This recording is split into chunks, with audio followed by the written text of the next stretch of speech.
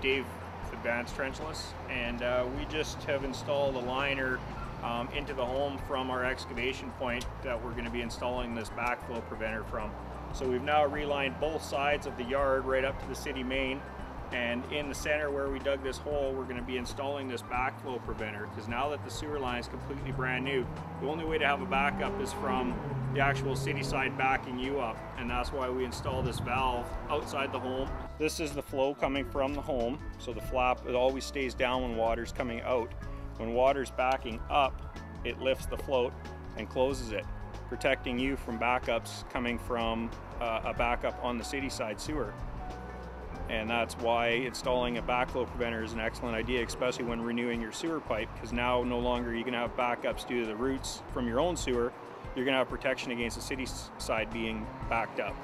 So it's an excellent idea, good insurance, especially if you've had backups and you know what it's like and the costs. To get us to come out, put one of these, we can put it nice and close to the house. Here, because of the access with the sidewalk and everything, we chose to do it more in the center of the yard it doesn't really matter exactly where it's installed. We can kind of work it around your landscaping in your yard.